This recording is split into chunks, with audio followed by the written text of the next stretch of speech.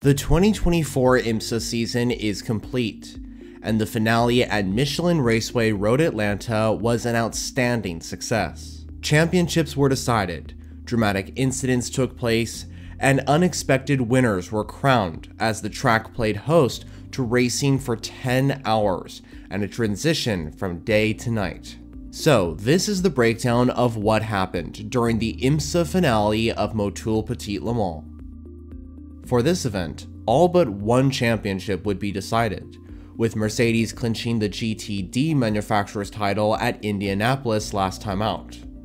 During qualifying, Jack Aitken would achieve Action Express Racing's fourth pole position of the year with the number 31 Whelen Cadillac, with Ben Keating setting the pace in LMP2 for United Autosports.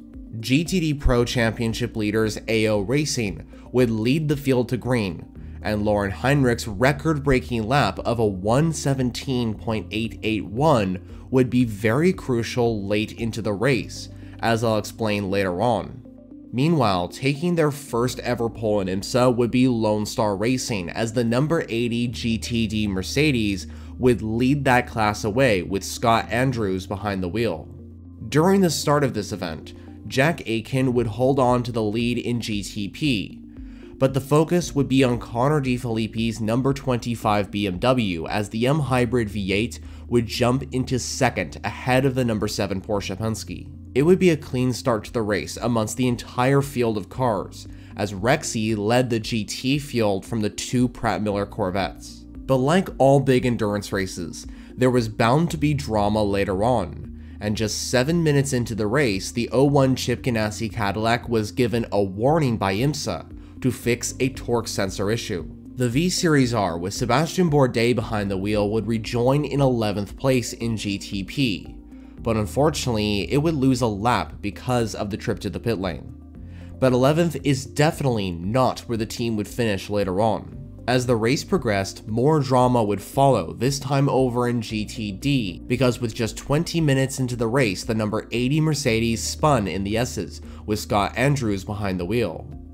This was the complete opposite to what Lone Star Racing had experienced at the end of qualifying, with the Texan team grabbing pole position, and the AMG GT3 would unfortunately drop to the very back of the field because of this incident. Back up at the front in GTP, after some pit stops, it would be Jordan Taylor in the number 40 Acura leading after not pitting. Aitken in the number 31 Cadillac dropped to third following this great move by the number 5 Mustang sampling Porsche of Alessio Picariello, followed by the two 963s from Porsche Penske completing the top 5. And later on, the lead would be reclaimed by Action Express, as Aitken moved the V Series R into first overall ahead of the Acura. Elsewhere, our first major incident happened when contact was made between the leading LMP2 entry, which was Ben Keating's number 2 United car, and the number 4 Pratt Miller Motorsports Corvette. Both cars received major damage, with the Corvette unfortunately being forced to retire from the race. Thankfully though, the good news was that Tommy Milner was able to climb out of the car unhurt. Keating meanwhile returned his car with visible damage to the pit lane. But following this incident, the day was pretty much over for the crew of the number 2 car, and they couldn't fight for the win again. Now, I quickly want to point out a scary moment for one of the Ferraris, because the Inception racing car had a spin at turn 12, but just barely avoided hitting the wall hard and ending the race for the team. So a great save for sure by the Inception racing driver. Later on, the number 31 Cadillac was having such a good race up until it was given a drive-through penalty for passing another car under yellow flag conditions, which forced the V Series R to relinquish the lead to the Porsche Penske Motorsport team, as Matt Campbell took over the leading position in the championship leading number 7 Porsche. Another contender for the lead of a class that faced drama was the number 14 Vasser Sullivan Lexus, which stopped out on track just before the back straight, and it was eventually forced to retire with an engine issue, becoming the second retirement of this venue.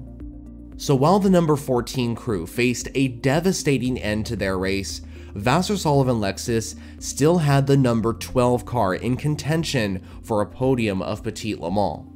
Now, I hate to be the bearer of bad news for Rexy fans, but the AO Racing Porsche was not having a good race at this point. The car was having gearbox issues, where it couldn't upshift, forcing the drivers, such as WEC Proton Hypercar driver Julien Andlauer, to be stuck in gears such as 4th and 5th, which of course made things difficult to manage while driving. Thankfully, the issues for Rexy were mended, but the car dropped many positions with the championship title in jeopardy, with the number 23 Heart of Racing Aston Martin in a good position to secure a strong finish in this race. This was clearly turning out to be the most intense championship battle across this final IMSA round of the season. In the GTP class, we got our first two retirements in a matter of 10 laps. JDC Miller's Porsche was unfortunately the first car to retire, with the team forcing to pull their 963 into the garage with a power steering issue, which is definitely a very big problem to have, as proven last race at the Indianapolis Motor Speedway when Nasr's number 7 Porsche encountered a similar problem. This was a difficult end to Richard Westbrook's career, as the British driver announced that Motul Petit Le Mans would be his last race in motorsport. But outside the result in this event, he can look back on an incredible motor racing career with many accomplishments, which included two overall podium finishes for American manufacturers at the 24 Hours of Le Mans, one with Glickenhaus in 2022, and the other a year later with Cadillac in 2023. The second retirement was for the number 25 BMW, when the car suffered an engine issue, just like JDC Miller, this retirement was another difficult farewell for a certain driver, as Nick Yelloly would be leaving BMW after this race to join MSR Acura next year in 2025. Moving on, and in the lead for GTP, things were getting pretty exciting. With under 4 hours remaining, the battle for the win became a three-way fight between the two Porsche Penske entries and the number 10 Konica Minolta Acura. While on the subject for the lead of this race, I just want to point out an interesting fact. The drivers on board the number 10 Acura and the number 6 Porsche battling for the overall win were Brendan Hartley and Kevin Estre. Interestingly, these are not the two full-time drivers of these cars, and you will more commonly see them battling for the win in the World Endurance Championship, with Hartley a part of the Toyota squad in that series, and Estre a part of Porsche as well in the WEC. Now, as night descended across the track, these two cars continued their battle for the overall lead of the race, until drama struck for one of them.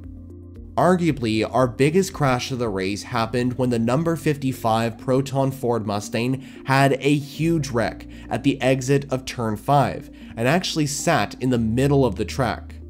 This incident also involved the number 120 Wright Porsche and one GTP car. When multiple cars approached that section of the track, they tried their best to avoid the incident, but unfortunately, Ricky Taylor's number 10 Acura wasn't so lucky. The Wayne Taylor Racing car's left hand side scraped the Ford when trying to pass, which gave the car major damage. And while on the subject of multiple cars involved, I do want to point out that Philipp Eng's number 24 BMW barely avoided a collision, which I would define it as a very close call. Back to Wayne Taylor Racing Andretti though, and the number 10 Acura, which was in second place at the time, slowly limped back to the pits with damage. The team carefully assessed the situation, but unfortunately were forced to retire the Acura from the venue, which was absolutely heartbreaking, not just because the entry was involved in the fight for the overall win of this event, but because of the dreadful luck that Wayne Taylor Racing has had here at Petit Le Mans. As for the last four years, their chances of winning came to an unsatisfactory conclusion. Once Green Flag Racing would return, with just over 30 minutes to go, this is where things got really intense across all four classes. In the flagship class of GTP, Nick Tandy was leading in the number 6 Porsche, followed by Renger van der Zande in the 01 Cadillac, which had surprisingly moved into race winning contention, with the number 24 BMW rounding off the top three. However, the M Hybrid V8 wouldn't stay there for long, because at the final heavy braking zone, contact was made between Eng's BMW and Nasr's number 7 Porsche, which forced the 963 off the track. And while that was going on, there was some fierce side-by-side action between the number 11 TDS and the number 74 Riley LMP2 cars for the lead of this category. Jensen was trying to hold on to the lead, while Fraga not only was trying to claim it, but beat the number 52 Oreca to the championship title. However, while this battle was great, Jensen would ultimately stay ahead in the lead of LMP2. Back to GTP, and eventually the number 24 BMW was handed a drive-through penalty for the collision with the number 7 Porsche at turn 10. And along with the number 31 Whelen Cadillac also getting a penalty, this resulted in the overall lead becoming a two-horse race between Porsche and Cadillac. Renger van der Zande, who knew this would be his and Chip Ganassi's last race with Cadillac, would find the courage to bravely send a move on Nick Tandy's Porsche. However, it wouldn't be smooth sailing for Cadillac for the remainder of this race. Over in the GT classes, things were getting really intense. GTD Pro was being led by the number 19 Lamborghini Iron Lynx, but the focus was mainly on the battle for P2. The number 23 Heart of Racing Aston Martin was going for the championship, and with Rexy down the order, if the car got past the number 62 Risi Ferrari into second, the team would win the championship. And with time ticking down, a move had to come quick to claim the title. Meanwhile, GTD saw a fierce battle for the lead, involving two Italian GT cars. Albert Costa Balboa was trying to hold on to the lead of this class for Conquest Racing, as he defended against the number 78 Lamborghini from Forte Racing. And not only were these two cars battling for the win, but they were also battling for 4th place in the championship standings. Up in GTP, the 01 Cadillac was suffering with some headlight issues, which forced the car to only have one headlight, which was a difficulty in itself. But then, things got more intense when in the final few minutes of this race, the Cadillac lost both its headlights, which of course gave Renger van der Zande limited visibility. This was almost an impossible situation to manage, and I gotta hand it to Renger for this, because think of the circumstances.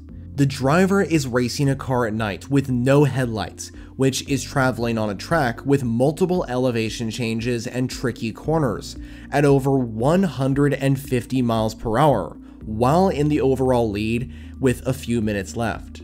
And if that wasn't enough pressure, just add on the fact that this is a multi-class race, where drivers like Renger have to manage slower cars in both the LMP2 and GT classes. So to see Renger drive during these circumstances and not lose a position or go off track was absolutely phenomenal. Despite the headlight drama and the pressure from the number 6 Porsche, with Nick Tandy closing the gap to just 2.6 seconds, Renger van der Zande was able to hold on to first place and eventually cross the line in that position. And for one final time, drivers Sebastian Bourdais, Renger van der Zande, and Scott Dixon would share the top step of the podium in IMSA. Now, it wasn't just Cadillac Racing celebrating because Porsche Penske finished second and third overall, and the number 7 Porsche was able to clinch the GTP Championship title in 2024 after a fantastic season, started by that remarkable win many months ago at Daytona. In LMP2, back-to-back wins would be achieved by the number 11 TDS racing entry. Steven Thomas, Mikkel Jensen, and Hunter McElrea would take the win in the class, with the number 74 Riley coming away with second, and the number 18 Era Motorsports entry rounding off the podium. In GTD Pro, it would be a first win for the number 19 Lamborghini Iron Lynx entry, as Jordan Pepper, Franck Perera, and Lamborghini hypercar driver Mirko Bortolotti coming away with the win.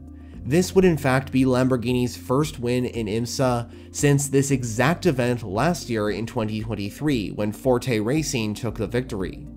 The remaining podium positions would be taken by the number 62 Risi Competizione Ferrari and the number 23 Heart of Racing Aston Martin. And because there wasn't a change in position for second, this meant that the number 77 AO Racing Rexy Porsche had done enough to secure the title by just 4 points, meaning that Laurin Heinrich's lap that put him on pole position in the previous day of qualifying is what won AO Racing the championship title in 2024. Finally, GTD was won by the number 34 Conquest Racing Ferrari, as drivers Albert Costa Balboa, Cedric Sbirrazzuoli, and Manuel Franco took the team's second win of the season and first in GT Daytona. Second place would go to last year's winners, Forte Racing with their number 78 Lamborghini, with Vasser Sullivan Racing's number 12 Lexus rounding off the podium. As for the final championship standings heading out of Petit Le Mans, in GTP, as I mentioned before, the number 7 Porsche Penske would indeed secure the title, with the number 6 Porsche Penske finishing out the season placed in second, which would allow Porsche to also secure the Manufacturers' Championship in the GTP class. The 01 Chip Ganassi Cadillac would complete the top three, followed by the number 31 Whelen Cadillac and the number 40 WTR Andretti Acura completing the final top 5 in the standings.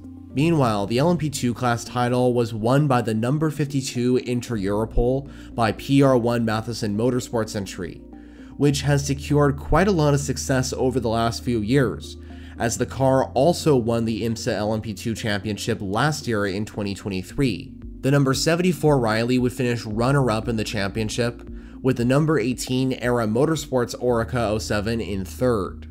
The wins at Indianapolis and Road Atlanta solidify fourth place in the standings for the number 11 TDS racing car, with the number 2 United Autosports Oreca rounding off the top 5. As mentioned before, the GTD Pro category's final standings displays the number 77 AO Racing Rexy Porsche taking the title, with Porsche also taking the manufacturer's title in this class. Following Rexy is the number 23 Heart of Racing Aston Martin, which had a brilliant season, with the number 3 Corvette from Pratt Miller Motorsports moving into third. Meanwhile, the top 5 in the class is concluded by the number 1 Paul Miller Racing BMW and the number 14 Vasser Sullivan Lexus. Finally, the GTD standings were dominated by Mercedes this year, as the number 57 Winward Racing entry did indeed take the title, and as I mentioned before, Mercedes already clinched the constructors. The number 96 Turner Motorsports BMW does finish in second, followed by the number 32 Korthoff Preston Motorsports Mercedes, the number 34 Conquest Ferrari, and the number 78 Forte Lamborghini rounding off the top 5. So with that race done, the 2024 season of IMSA is complete. Once again, Motul Petit Le Mans delivered an impressive showing of action across the event at Michelin Raceway Road Atlanta. So now, the question is, what next? Well, what I can tell you is that we are under 100 days away until the start of the 2025 season of this extraordinary motorsport. And that first event is the crown jewel of IMSA, the Rolex 24 at Daytona. If you like sports car endurance racing, this might be the channel for you. I'm making content on the WEC, IMSA, and so on every single week. In fact, there are some videos out on your screen all about these topics. But anyway, thank you so much for watching, and I'll see you in the next one.